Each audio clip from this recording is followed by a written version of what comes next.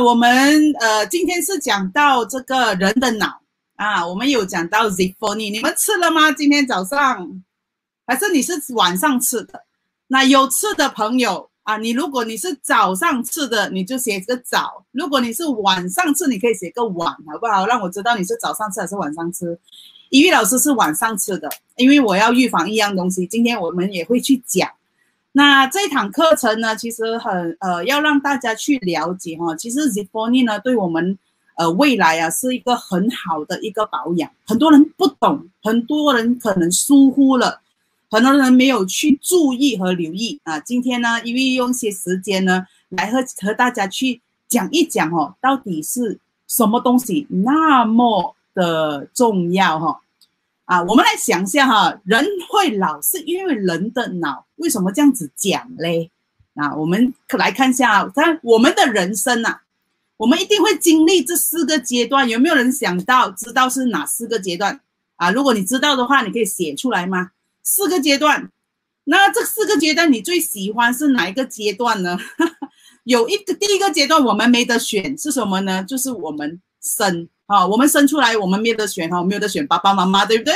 啊，你没有得选你在哪里出世的，你没有得选你的皮肤是什么颜色。那但是我们很荣幸，我们也很感恩，我们来到这个世上，有了这个生命。那有了生，我们会怎样呢？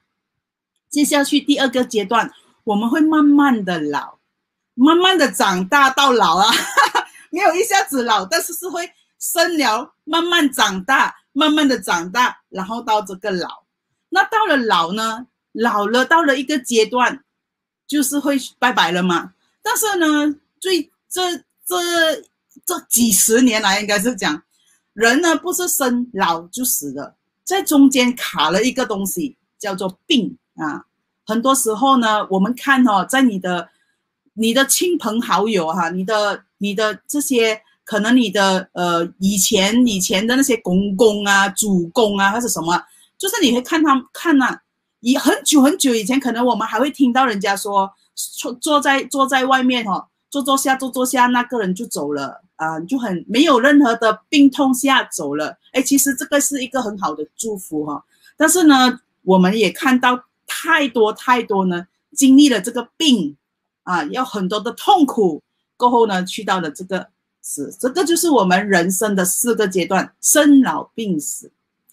那生、老、病、死，我们可以看到生和老是一定的，死也是一定的，一定会来的，它不不不无不能避免的。但是病呢？啊，病我们可以怎样呢？我们可以预防，对吗？我们可以预防，不要给它降快来病。那老呢？诶，我们也看到老，其实我们可以延迟的哦。老不是讲说一下子去到老，老了就什么都不能了。诶，不是哦，老我们可以，我们可以看到有一些人七八十岁啊，他都很有活力的，他都很有，他甚至乎他的记忆力、他的计算能力、他的活动力都比一般年轻人好。所以，我们今天会有讲到生老病死这个老。我们要怎样去延缓这个老化了？所以呢，你觉得你喜欢生老病死哪一个环节呢？相信应该都是生吧，生出来嘛。啊，很多人讲哦，我们要我们要我们要呃延长老化，我们要抗老，呃的话呢，我们要做些什么？做些什么？做些什么？但是伊薇老师今天呢，要和大家讲，不是要做什么，是十个东西你不要做。你只要十个东西不要做，然后每天笑一笑啊！你认识我的人都知道我很大声笑的人哈，笑一笑，那你呢？这个呃老呢就会慢一点来找你。那这十个是什么东西？什么东西不要做呢？第一个不要做的是什么？不怒。什么叫不怒？你不要每一天早上一起来哦，那个脸哦就好像包青公这样子啊，那个包青天呐。脸黑黑的，包青天是不是不用怎样，他就脸黑黑了了啊！不要脸黑黑，对了，笑一笑，看到邻居笑一笑，出来看到人家笑一笑，看到爸爸妈妈叫一叫，不要怒啊！不要那种那个啊啊！不要好像好像人家欠了你几十千这样子，好不好？啊！第二是什么呢？不骂啊！一点点就骂啊，尤其现在哦，大家 work from home，孩子都在身边哦，老公老婆都在都在一起这样子，很多时候看不顺眼就骂了，对不对？不要骂你，你是想想你骂人呢，是那个被骂的那个受伤一点，还是骂人的受伤一点呢？其实是骂的那个呢更受伤的，好不好？所以人家讲嘛，你骂人是一个手指剁着人，但是四个手指是指着自己的，所以不要随便骂哈。所以不骂啊，就不怒不骂。第三什么呢？不思，不要一直思思思想哦，一直一直是。当然我知道有些妈妈哈很担心，可能呃孩子在外地嘛，有时会思念嘛，有时我们也会想象我们的父母嘛，会会思念挂念很多。但是不要想太多啊，不要想太多。有时呢，就是要放开一些哈，就是这个不思，还有什么呢？不恐啊，不要怕啊。尤其现在很多人都很怕，对吗？怕出到外面，呃，又会会会不会被病毒产感染啊？怕等下是不是老板会炒鱿鱼啊？啊，怕这个怕那个啊，这些呢，其实也是会影响到我们的。还有什么呢？就是不烦，还有另外一个叫不恼。什么叫不烦不恼呢？不是一样的吗？烦恼烦恼啊，其实有一点点不一样啊。不烦的意思呢，就是其实这个东西是没有的改变了的啊。比如说今天你去买一二三四，晚上开出来一二三五，你在那边烦哦。哎呀，为什么我不早点写多一个五就好了啦？这样这样子，或者你去买菜，买菜你今天买了过后啊，这边是买五块钱。然后你走多两步，那个你讲他卖四块，哎呀，你这边烦有没有搞错？那边这边卖贵我一块钱，为什么啊？你这边烦啊？这些烦不烦？烦的意思什么呢？就是发生了的，哎，发生了的，你不能不能改变的，你不要烦他啦。不恼是什么啊？不恼可能是还没发生的，你就是在那边懊恼啊。比如说还有电费还没有交啊，还有学费还没有交啊，你在那边恼。哎呦，真的，啊，可能还没有存够钱啊，还没有算好钱，还没有去拿钱啊，有钱但是还没有去拿钱，你就在那边恼，你这边那恼懊恼，哎，为什么这样呢？啊，为什么不能快点呢？还是怎么样子啊？这些想太多了哈。啊，再来就是什么不急，有些人做事很急的，对不对？啊，很紧张啊，什么都要快啊，这样子的，所以不急。做事不要太过呃着急，当然要按部就班的做，但是有时候呢，有些事情要慢慢来啊，有些事情要慢慢慢慢来。有些人讲是有时候慢一点就快一点，什么叫慢一点快一点呢？啊，自己去思考哦。所以不要什么做事就很急。然后有时候安排好自己时间啊，有尤其有如果以以前可能你要去外面见人，或者你要 zoom 也好哈，你要 zoom 啊，你要去 meeting zoom，那你要穿戴好嘛，也是要穿好好的嘛，啊，你就很急的我每天到 last minute 啊，你才去去换装啊，才去吃饭啊，啊就很急，不要弄到自己太急，所以要安排好自己的时间，所以不急也是一个很重要，不要每天做的事情。还有什么呢？不要躁，不要烦烦躁躁、懊懊恼恼、脾气暴躁这样子啊！我我我我我们常常讲哈，女生也是要好好的去呃看顾自己，不要结婚后呢就不理了，不理自己了，不打扮自己了，然后只是当然呃家里可能也是有一些很要忙的东西，但是也要留一些时间给自己，不然的话呢啊有一句话叫什么呢？啊母老虎就出来了。哈 哈所以呢，所以女生呢，在她年轻的时候、少女的时候就很很温顺的嘛，小绵羊、小绵羊啊，不要嫁了过后变母老虎，好不好？所以要调整一下自己，要找对自己的方向，所以不要躁，不要暴躁哈，要啊，要稳定哈，要稳定一下。然后还有什么呢？不愁啊。整天愁眉苦脸啊，整天在愁着晚上要煮什么，整天要愁着明天要穿什么衣服啊，整天在愁着呃那个那个新年的时候要去哪里玩啊，就是在里面忧忧愁愁的，愁那些不应该愁的东西哦，到的时候就知道要做什么了啦，要要要。衣服你想太多，等到那天你站到去那个你的衣橱一拿你就穿了啊啊！这个原本要穿的没有烫，就穿那个烫好了的了，大概是这样，对不对啊？还有是什么呢？就是不郁啦，不要犹豫犹豫犹豫这样子啊，整天在外面想东想西。有时候忧郁症就是。呃，当然有外来的因素啦，那有一些是怎么呢？自己自己弄到来的，想太多哈。所以有时候为什么有一些产后忧郁症的人呢？就是没有家人的关心的时候，他就会想到，哎呦，会不会是这个嘞？啊，会不会是那个嘞？啊，这样的一个情况下呢，啊，慢慢呢就搞成这个有忧郁的问题了。啊，有的时候慢一点会比较好哦。看到欧阳也是有写这个认同这个哈，啊是。所以呢，这这个十个里面，你们今天学到了吗？在我们的每一天的生活中，这十样东西不要做那么多。当然，我们可能无所避免了，但是提醒自己要骂的时候啊，好了，忍一下，不要骂了。哎，要想了，哎，哎呀，不要想了，可以了，笑一下。其实有时候啊，你笑一笑，一些东西呢就化解了，对不对？啊，所以今天把这十样东西教给大家，大家要收起来，好不好？这个很重要，这个已经我已经讲了二十年了，已经和很多的人讲了这二十二十年这十个东西哈，真的也帮助到很多人，也提醒很多人啊，这个东西什么时候要小小。但是你看哦，这十样东西啊，它所发出来的话，其实它最伤是我们哪里呢？你想象下，这你不怒不骂不失，当你很怒很骂很失控很很烦恼很躁的时候，它其实在影响哪里呢？就是今天我们的主题哈，它就影响人的脑了。所以为什么人会老？是因为人的脑，因为你做了刚才那十样东西，常常做，越做越老。你看我们讲我们的我们在家的母亲，如果她一直骂，一直骂，一直骂，一直很很烦，很烦，很烦，很燥，很燥，很燥，你会看她越来越漂亮啊，还是越来越衰衰老，越来越老化呢？你会看到越来越老化。反而呢，如果你是平平稳稳的、安安稳稳的这样子啊，做事很好的、很规律的，你会看到这个人呢，一看起来可能他很年、很老、很老，但是你会觉得他活得很年轻。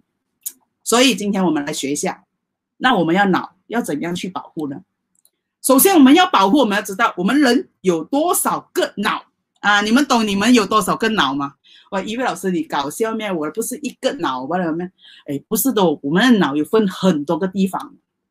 所以呢，它虽然只有一个脑，但是它又有很多个部分的。那我们今天大概呢，和大家来了解哈，说脑有分为这几个部分的哦，啊，有大脑，有小脑，有松果体啊。我们常常知道，我如果在 M Life 你们都知道有听过松果体是帮助我们进入这个深层睡眠很重要的一个呃体积啊。还有脑下垂体，还有脑干和。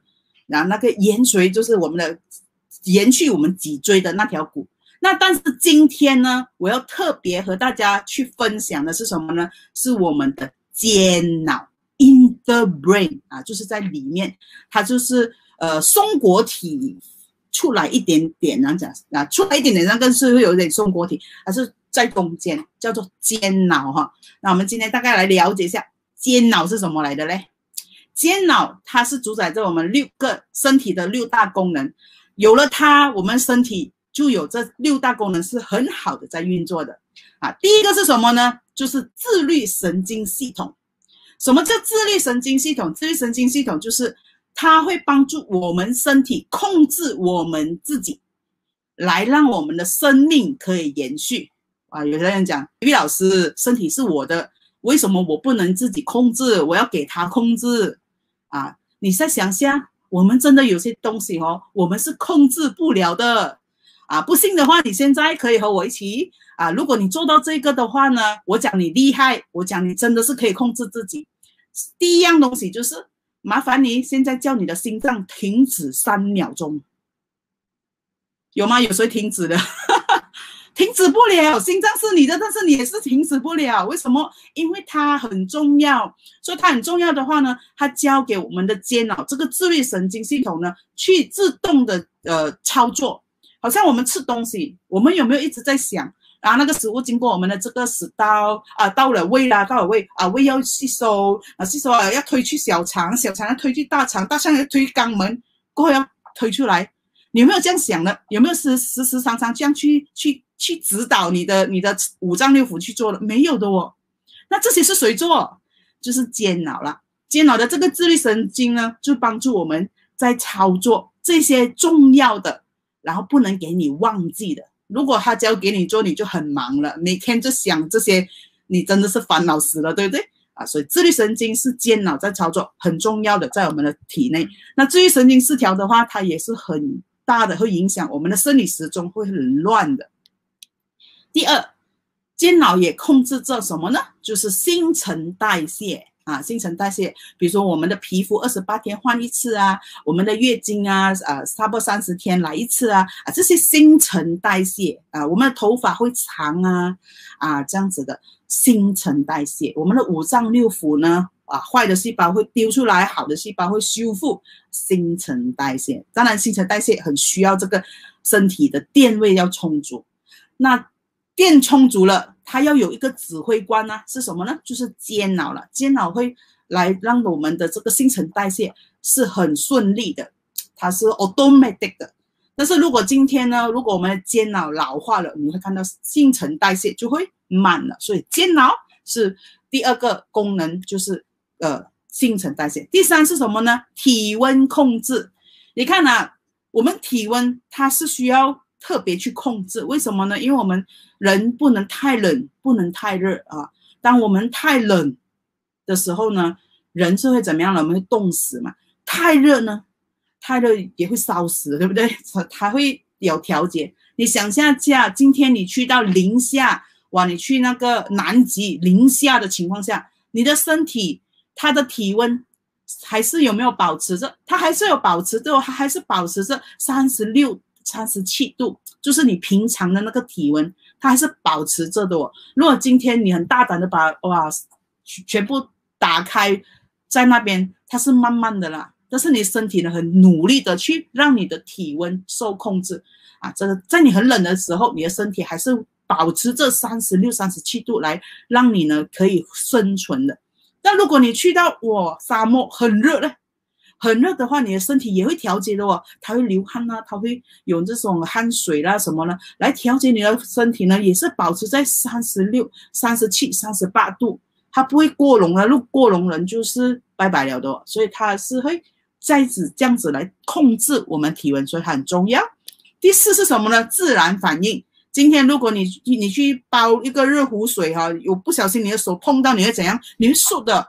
你会不会在那边想？哎呦，热热热，要速？不会，你会自然的速的，这是要自然反应。好像今天我，哎，不懂有没有这个效果？哎，一打你的时候，你会闪开呢？可能在电脑上你都会闪开，有没有？这个是什么叫自然反应？有东西攻击你的时候，你会有所反应。这个是谁做的？不用等你去想了的，电脑自然会有这样子的个动作来让你避避开一些危险的。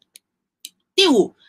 这个感情中需很简单哦。当你看到那些很浪漫的呃画，那那些电影的时候，你的心就很甜哦。你看到那些哭到半死的戏的时候，你就会怎样流眼泪，对不对？你看周星驰的戏什么样？你会笑到不拢相谋，对不对？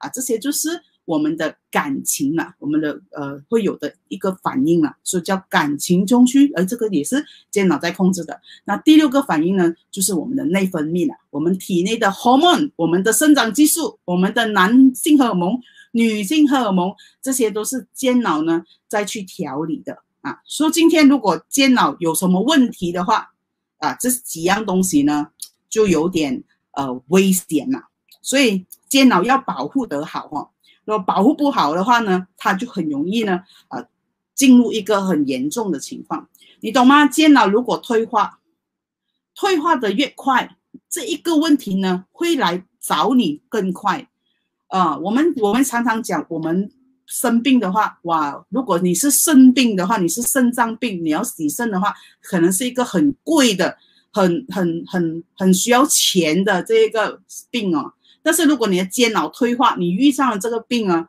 它是你有钱也没有用的，因为它完全医没有没有一个办法去医治你的。你去看医生，医生可能告诉你什么呢？回家吧，啊，他可能给你一些维他命啊，呃，来去来去呃给你吃罢了，但是他没有药可以医的。你们猜到是什么病了吗？是什么？就是这个。老人痴呆症啊，嗯，所以如果健脑退化的话呢，很容易呢就会进入这个老人痴呆症。虽然现在还没有一个很很很直接的呃话术来去或者一些医疗报告讲啊，因为健脑而产生老人痴呆症，但是你会看到，当有老人痴呆症的人呢，他是就会影响到刚才我们所讲的六个呃系统呢，是很呃会退化到很厉厉害的。所以有老人痴呆症的人，连打针啊、吃药都没有办法，医生都没有办法的哈。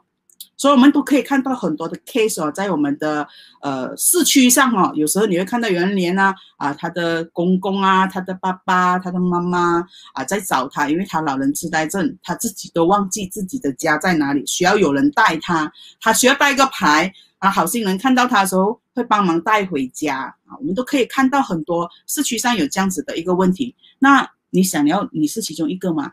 当然我们是不想的。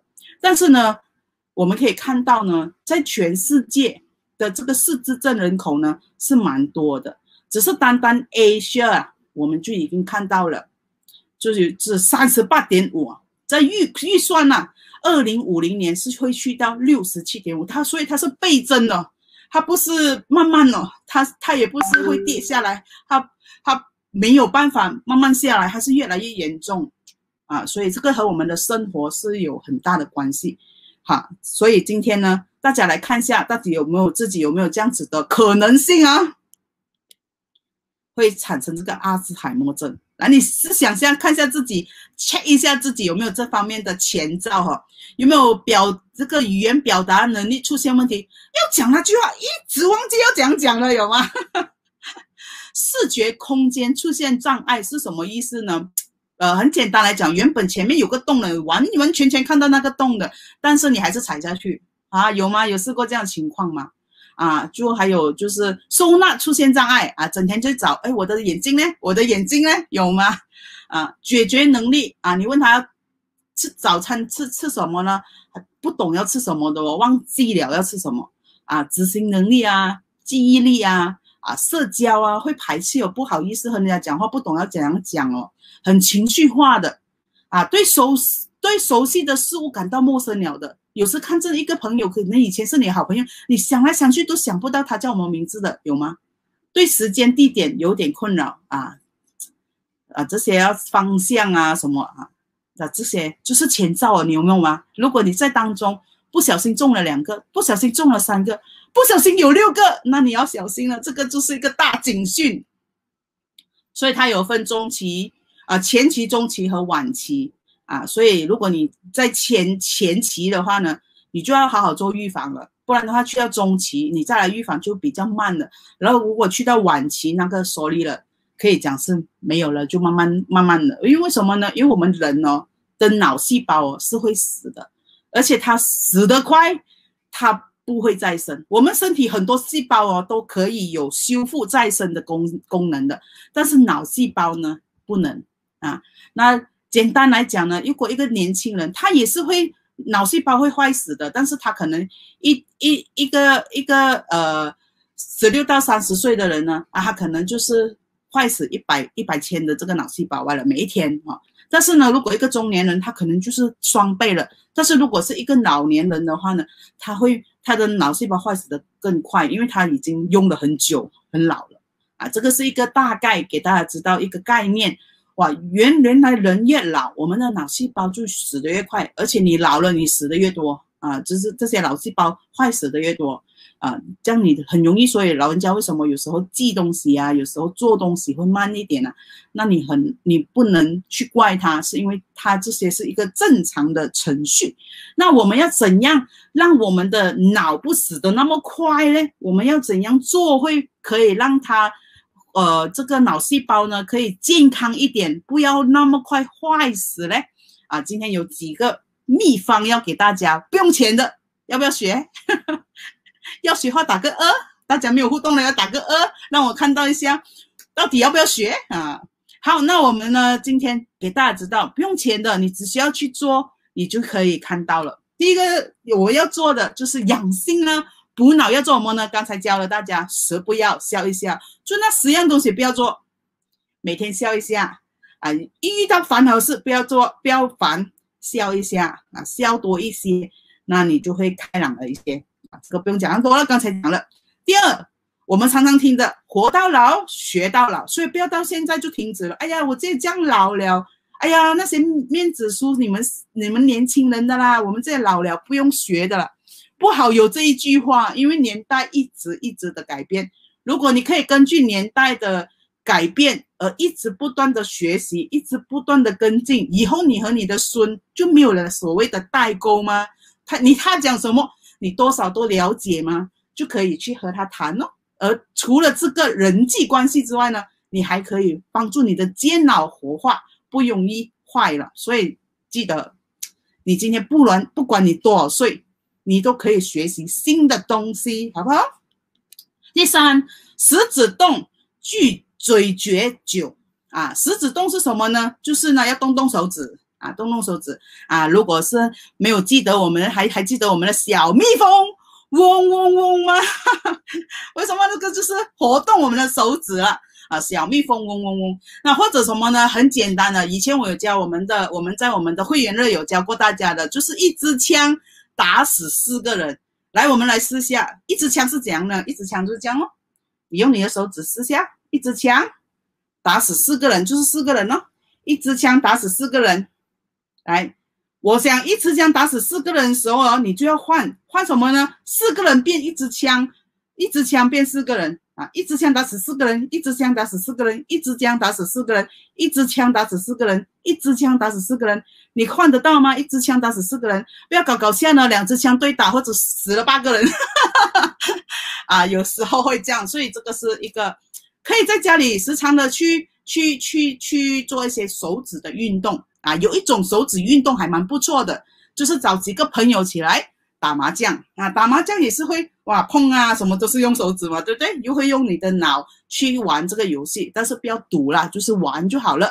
啊，拒绝酒，吃东西不要很紧张，咬两口就吞，咬两口就吞，这样子是没有可以帮助到你什么的，消化又不良，煎脑又快坏死，为什么呢？当我们咀嚼的时候，我们咬东西的时候呢，很重要是什么？我们的舌头下面呢，有很多的神经线呢，是和我们的脑部呢有连接的。所以呢，我们是可以怎么样？在你咬东西的时候呢，它其实可以帮助这个神经线和脑部的交流的，你懂吗？啊，所以为什么要咬？咬久一点，消化又好一点，这一个部分呢又有得到一个好处的啊。所以我听人家这样子讲啊。你多少岁要咬多少下的，你懂吗？所以你今年如果是四十岁，你要咬四十下才吞下去啊！所以这个自己要呃算一下了哈。食指动，拒绝酒。第四呢，就是你可以呃摄取有乙烯胆碱的食物。你即使这个乙烯胆碱，它是直接呢可以帮助活化间脑的。什么叫乙烯胆碱呢？等下会和大家讲。第五是什么呢？第五就是。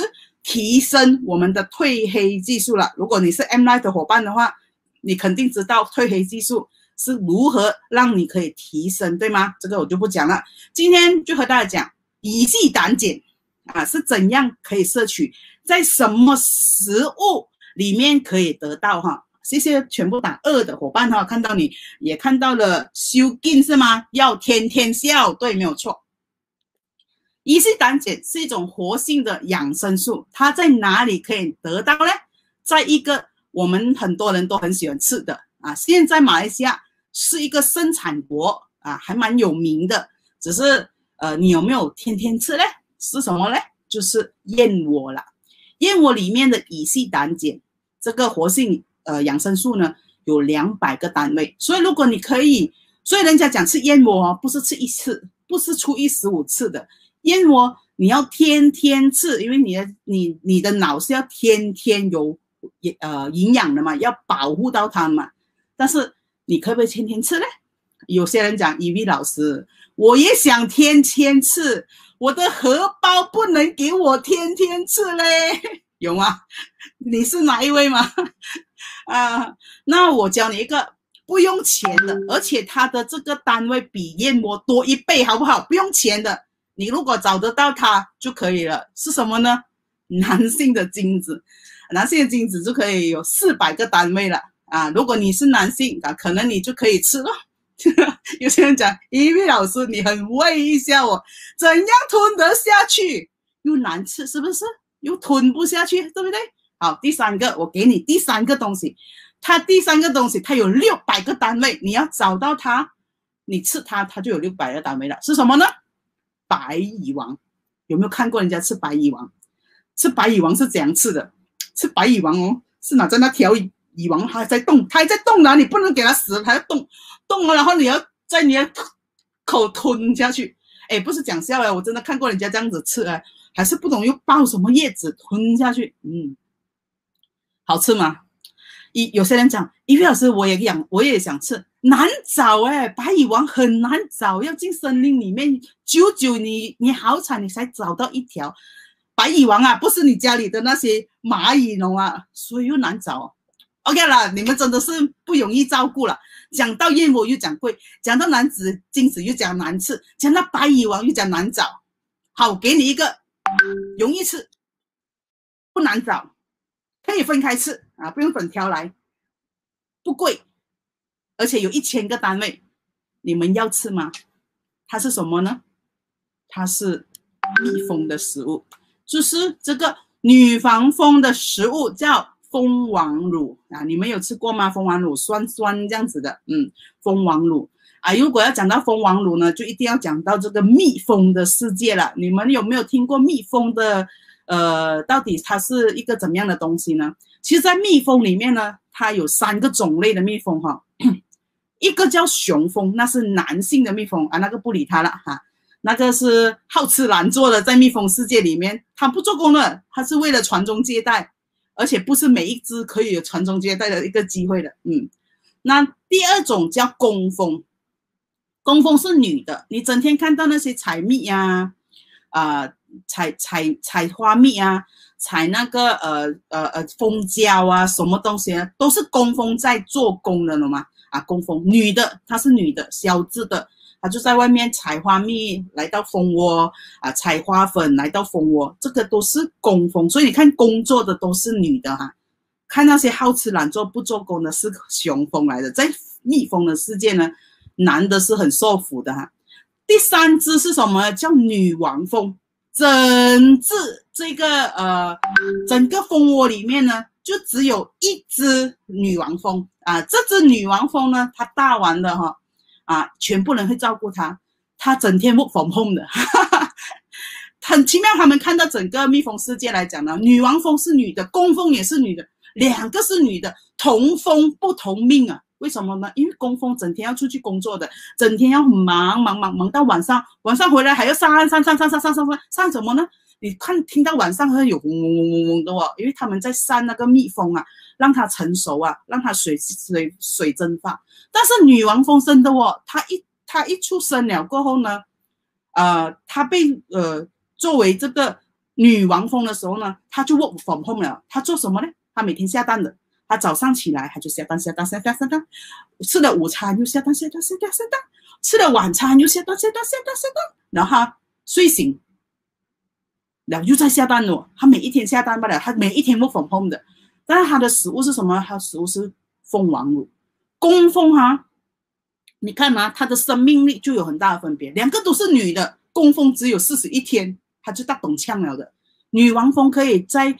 呃，这个蜂巢里面生活四到六年了，你看她的命是比原本的女性长了多少倍？很多倍，对不对？然后呢，生殖力，刚才它下很多蛋，女王蜂可以下很多蛋，但是工蜂呢，一粒蛋都下不到，它不能生育啊。为什么有这样大分别呢？因为工蜂哈，它一出世过后呢，是前面那三天它可以吃到蜂王乳罢了啊，让它成长，成长了过后就没得吃了的。如果它不是女王蜂。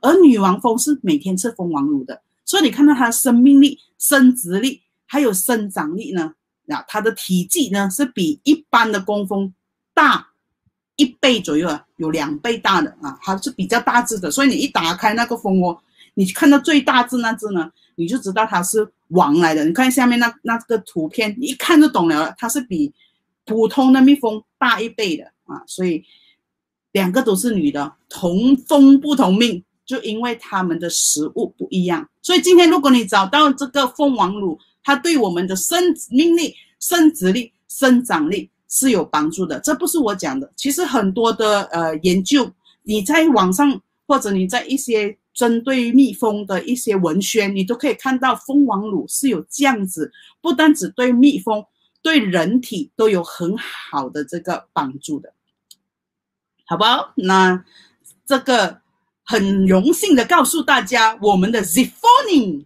它是三合一的，它有哪三个呢？它里面是有蜂王乳的，它有 Royal Jelly 的，好不好？它里面有呃含有这个 Royal Jelly 在当中，还有就是我们所呃有有和大家讲过，就是这个冷萃的香蕉皮萃取物 Banana Peel Extract，它是可以帮助提升我们的褪黑激素，所以它一次过呢，它活化间脑这个乙烯胆碱和提升我们体内的褪黑激素一起做，所以你的间脑有的被保护起来。加上抗氧化，抗氧化对我们的人体，不管是哪一个细胞都很重要，因为它不快氧化，它就不容易快老。所以抗氧化在我们的皮肤，在我们五脏六腑是很重要的。所以你今天所吃的 z i f o n i 不是单单只是吃睡觉而已的，它是帮你吃活化间脑，提升你褪黑激素，抗氧化，让你可以皮肤美啊，让你可以。我我吃它，我真的我是每一碗都吃的，为什么呢？我就是要预防我的老人痴呆症。我觉得会的，因为用脑太多嘛，人家讲哦，年轻用脑太多啊，晚晚年的时候啊，很容易中的哦，因为你一下子休息起来嘛，所以你一定要让它活化。所以我每一碗都吃的。所以如果你也是和我一样想预防预防这个部分的，你刚才所所讲的，我这个十步要笑一笑。拒绝酒啊，活到老学到老，再加上乙烯胆碱和提升褪黑激素，就可以帮到你了。所以，我们来看一下生命力是什么。有些人和我讲，因为什么叫生命力？什么叫生殖力？什么叫生长力？啊，大致上告诉你们，生命力是什么呢？生命力预防老人痴呆症，增强记忆力，调节自律神经。所以，你的自律神经如果是好了，你就会看到呢，刚才所谓的新陈代谢啊，你的皮肤不容易老化，不容易暗沉。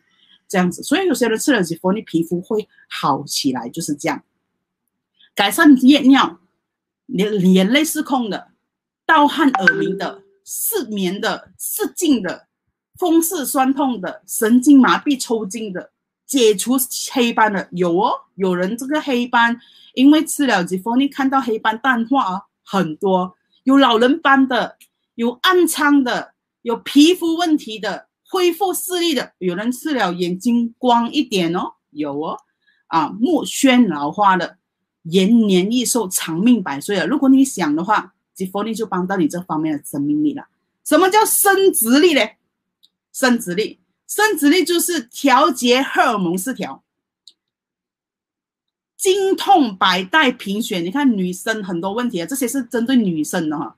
女性的经期不准失调，增血作用啊。吃了它有帮助增血，因为里面有那些 prum 的东西在，有帮助这个呃让我们血液增加哈，那个红血球嗯增加，可以帮助经痛的问题，消除更年期障碍。什么叫更年期障碍？更年期要来的时候脾气比较暴躁，更年期要来的时候容易又热又冷，又热又冷，不懂它是热还是冷啊？呃，忧郁不安、手脚冰冷的人，骨质疏松症的人。去除收精残余物哇！什么叫去除收精残余物呢？就是你的你可能已经是更年期了，但是你最后一次的那个精精血啊，最后一次那个精血啊，啊还没有完全被排出，所以有些人呢，他可能已经停经一段时间。他讲，一比老师，我停经了一年哦，怎么我吃了西波你忽然间来了的啊？他来就是来那一天，那可能就是一下子而已啊。我有试过有一个。七十多岁的，呃，婆婆吧，应该不叫安迪了。婆婆有打电话给我，这样说：“一斌老师，为什么来了的？他只是停停了很久啊，为什么忽然间来的？吃了这个就来了吗？”啊，放心，他不会。如果你来了，你不会觉得累，只是那一一天啊，少少黑黑的东西啊，那个是很好的，因为这些东西如果放在体内，好妹，这些是不是存款来的，好不好？所以要把它排除。所以生殖力它会活化我们的间脑，让我们这些多余不要的东西被排出，你就让它排出啦，第二天就没事了啊。不过你不要在那边等啊，不是每一个人呐，是有些人，OK？你不要在那边等，语老师讲会来的，怎么还没有来的？等不到啊！语老师怎么他没有来的？不要打电话给我。啊还有什么呢？能延迟收金啊？可能原本你可能四十二岁、四十五岁要收了的，哎，可能你吃了这个喜风利，它会延到四十八、五十啊、六六十哇。如果你可以到六十的话，其实我们收金越迟收金的话呢，其实对我们呃生殖力是越好的，我们皮肤又会好，我们的呃生命力也是会好一些的。所以要延迟收金，所以不要这样迟睡啊，迟睡的话容易延早了，提早收金啊啊。那促进生殖。机能旺盛啊，抗进性欲啊，这些冷冷性冷感、性机能衰退啊。因为老师也因为 z i f o n i 因为 CAP 哈，就接触很多呃人呢去使用我们的 z i f o n i 那也接到很多的电话来和我们分享。那有一些是我们去询问的时候也得到了这样的一阵子的消息啦。有些人吃了我们的 z i f o n i 呢，就会怎样呢？晚上很想要哈。你明白就明白了，因为很难去解释，好不好？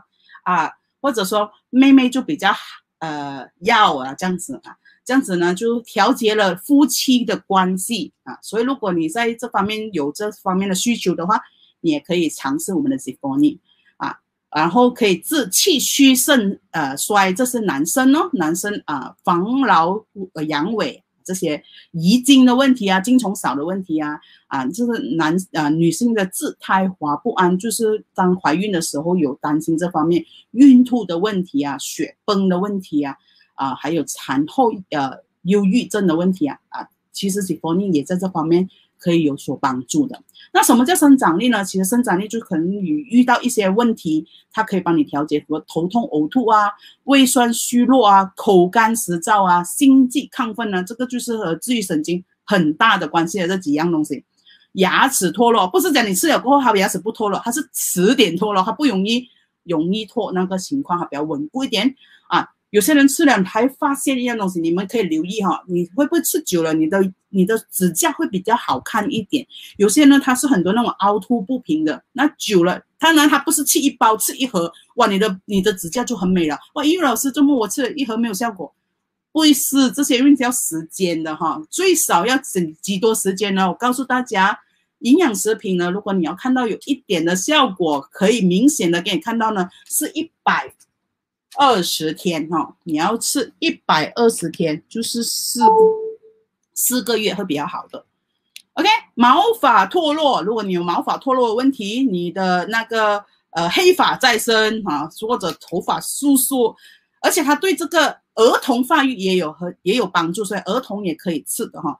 开胃有食欲，然后结实肌肉，皱纹消失，体态恢复年轻，青春常驻。